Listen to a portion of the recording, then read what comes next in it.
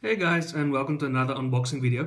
This will actually be um, what you will be needing to plug in two power supplies if you've got a mining rig that doesn't have enough you know juice for the rig so you need a second power supply so you will need one of these cables and then just one of the version 7 risers.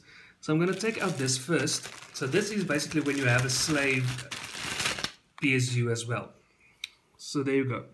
So basically all this cable does is this goes into your um, motherboard.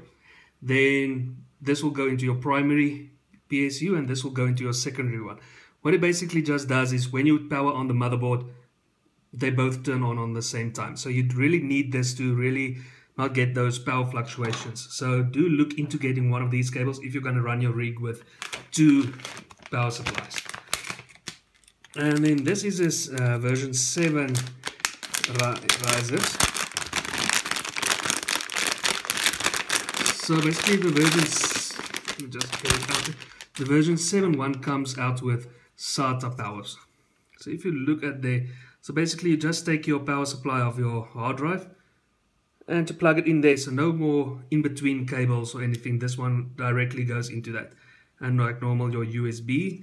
And then over there you can see version 007S.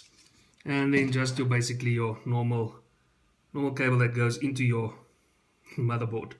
So there you go. So that's basically what you need to get started with two power supplies and you do need risers if you're going to put in more than two cards on most of these motherboards. So until next time guys, cheers.